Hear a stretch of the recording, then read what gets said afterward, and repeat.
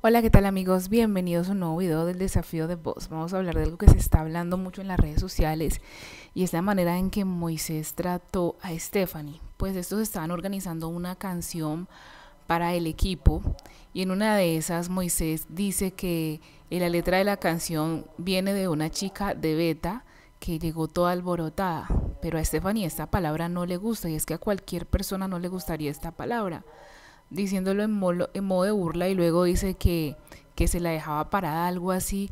Y obvio, esto causó más enojo en Stephanie, tanto que le dijo que hiciera el favor y le cambiara esa parte.